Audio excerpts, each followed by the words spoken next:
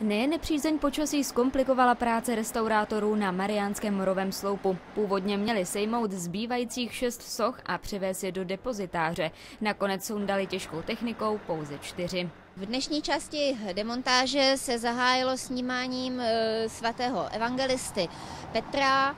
Eh, nyní je eh, sejmuta socha Alžbety Durinské, která patří mezi jedny z těch větších soch a těžších soch a očekáváme, že ještě další dvě sochy se dneska podaří sejmout. Průzkumy už dříve ukázaly, že sloup je v havarijním stavu. Více ale bude vědět poté, až se odstraní sochy z pískovce. Galerie kvůli tomu chystá zakázku za zhruba 10 až 15 milionů korun. Samozřejmě u některých soch eh, už jsou eh, nejenom ty destrukce viditelné, že třeba mají popraskaný posaves nebo odpadávají určité části.